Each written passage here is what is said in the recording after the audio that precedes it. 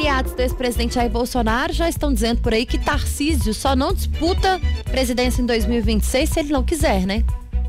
E Thalita, bom dia para você, bom dia Guilherme, um bom dia também para todo mundo que nos acompanha nesta quarta-feira. Pois é, nos bastidores, o que os aliados do ex-presidente têm dito é que esse primeiro, é, esse primeiro e segundo turno, principalmente, marcou aí é, um rompimento de aliança entre Jair Bolsonaro e o governador de Goiás, Ronaldo, é, Ronaldo Caiado, é, do União Brasil, e que isso movimentou as peças para deixar um cenário um pouco, talvez, mais claro claro, ou melhor dizendo, menos nebuloso para as eleições de 2026. Bolsonaro, considerado inelegível duas vezes pelo Tribunal Superior Eleitoral, está inelegível até 2030. Com isso, não pode disputar é, o próximo pleito aí para a presidência da República. Com isso, outros nomes têm buscado a benção dele. Até então tinha caiado aí nessa disputa, só que o primeiro turno, segundo turno lá em Goiânia mostrou que a situação vai de mal a pior entre os dois. Um chama o outro de covarde, o outro de falso político de celular. Então, o que não falta são críticas dos, é, de diversos lados. Isso, digamos, que deixa a situação mais confortável confortável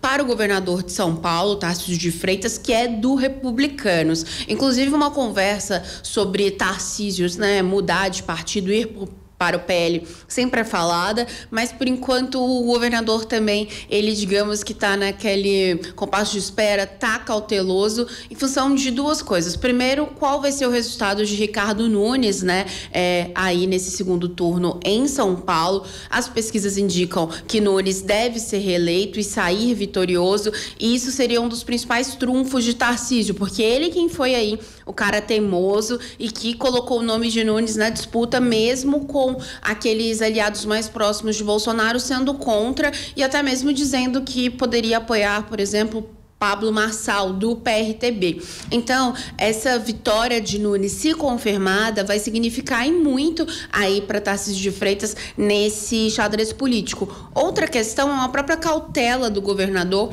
Principalmente porque ainda está longe, as conversas começam, mas está longe, porque tem um histórico também, já em outros e de outras eleições, que Bolsonaro é o que tudo indicava, apoiar é, político X ou Y para uma eleição, mas aí quando chegava a próxima havia uma desistência. O que colabora também para essa preferência de Tarcísio é justamente porque um, um dos outros concorrentes, digamos assim, seria justamente Romeu Zema, governador de Minas, mas ele não tem conseguido força aí no nome dele, se mostra um pouco cambaleante do ponto de vista político e não, digamos que hoje ele é considerado, digamos que um plano B aí. E Zema até mesmo disse se, se quiser, é, há um tempo, que poderia ser vice de Tarcísio. Então, digamos que ao mesmo tempo, como ele também não se colocou como cara que, que vai, quer disputar a presidência somente, somente ela, isso também abre espaço aí para Tarcísio de Freitas. Então, basicamente, é, nos bastidores é isso, então digamos que aí o Tarcísio tem mais dois anos e pouquinho pela frente